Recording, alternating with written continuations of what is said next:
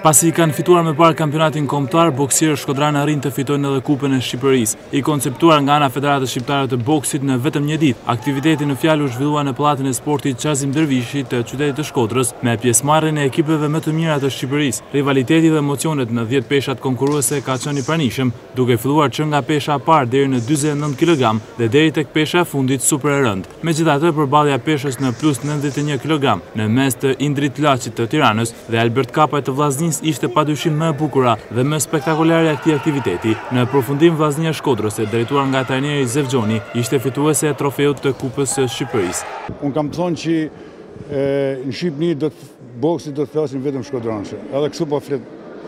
Por ajo që më intereson mu, më intereson të shti aktivitetet për të marrë për të kthy në Shqipëni medalje europiane. Shenjat e mira i patme tash në dy turnetë që patme në Kosovë dhe në Maqedoni. Tashti besoj se kryetarja që ka premtu që do të vijë sot, asht besoj se ajo ka me mendu diçka për boksin se Në Shkodër vetëm boksi asht që i fiton tanë këto trofe. Pas Vllaznisë me pesë medalje të vendit të parë, është renditur Tirana me tre dhe në vend të tretë Teuta me një medalje. Në klasifikimin individual, pesë medalistët e vendeve të para janë, Ahmet Meti, në peshën dyzet e nëntë kilogramë, Vuksan Guri, në peshën pesëdhjetë e dy kilogramë, Arion Kajoshi, në peshën shtatëdhjetë e pesë kilogramë, Bekim Vjerdha, në peshën tetëdhjetë e një kilogramë dhe në peshën nëntëdhjetë e një kilogramë, Sulejman Dashi.